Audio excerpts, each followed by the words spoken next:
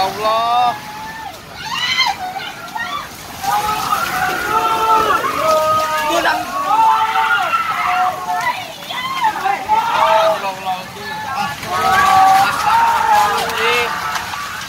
Astagfirullahaladzim. Ya Allah. Astagfirullahaladzim.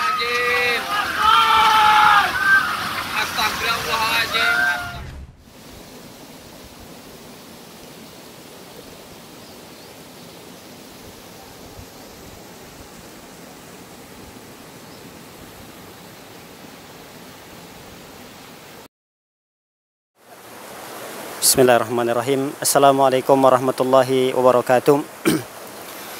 Alhamdulillah wassalatu wassalamu ala rasulillah wa ala alihi wa sahbihi wa man wala.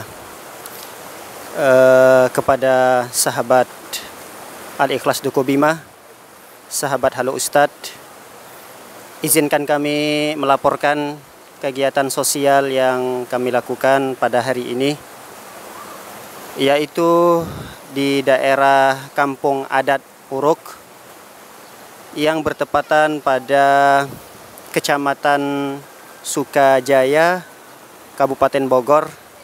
Inilah kondisi keadaan mereka saat ini.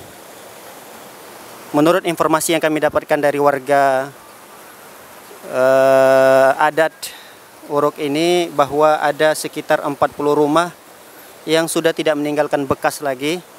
Bisa kita lihat keadaannya ya kemarin kejadian itu katanya sekitar jam 8 9 pagi pas tanggal 1 ini air dari atas tanah turun semua. Tapi alhamdulillah nggak ada korban. Itu apa warga udah sempat menyelamatkan diri. Tapi rumahnya nggak ada yang tersisa. Habis.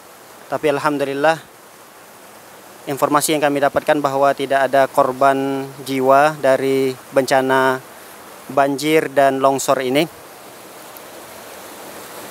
Perlu kiranya dan patut untuk kita syukuri sebagai orang-orang yang tidak tertimpa musibah bahwa kita melihat bagaimana keadaan warga di sini sangat memperhatinkan sangat sedih kita melihatnya bahwa saat ini istirahat mereka di malam hari pun dihantui dengan rasa takut jangan-jangan ada hujan susulan jangan-jangan akan ada longsor susulan dan ini adalah keadaan yang betul-betul menghilangkan nikmat rasa aman pada warga adat Uruk ini.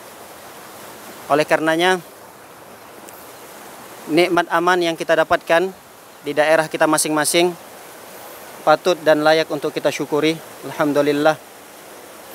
Izinkan kami pula untuk um, mengucapkan banyak-banyak ribuan terima kasih kepada sahabat Al-Ikhlas Duku Bima dan sahabat Halu Ustad yang telah mempercayakan kami untuk menyalurkan bantuan dan sumbangannya yang alhamdulillah hari ini kami akan salurkan hari ini tanggal 15 Januari hari Rabu 2020 kami menyalurkan bantuan dari sahabat-sahabat sekalian ini bantuan yang ketiga kalinya insya Allah untuk korban banjir dan longsor.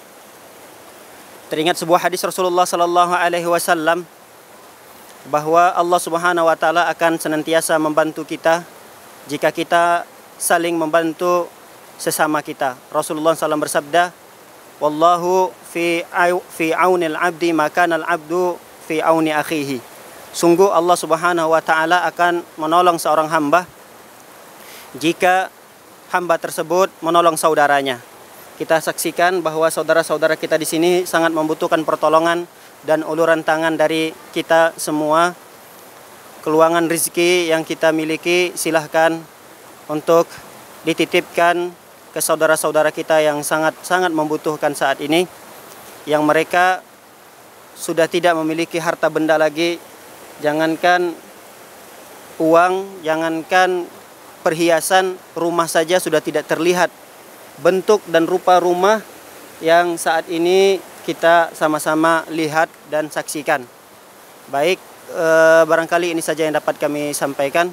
Kami sekali lagi mengucapkan ribuan terima kasih kepada sahabat Al-Ikhlas Duku Bima dan sahabat Halo Ustadz yang telah mempercayakan kami dalam menyalurkan bantuan eh, sahabat-sahabat sekalian. Wabillahi taufiq wal hidayah. Wassallallahu ala nabiyina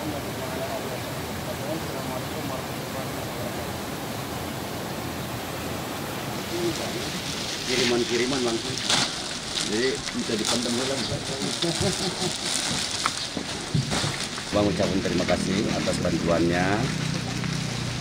Mudah-mudahan di tim rombongan ini wabil khusus eh, ya kasih mudah disamatin nanti pulangnya itu biar sampai perjalanan sampai tujuannya. Abang ngadoin wabil khusus di keluarga biar pada selamat kondisi badannya barat sehat baik kerja maupun usahanya mudah-mudahan ada keberhasilannya biar dibarokahkan masalah hidupnya. Itu abah rasa cukup terima kasih bang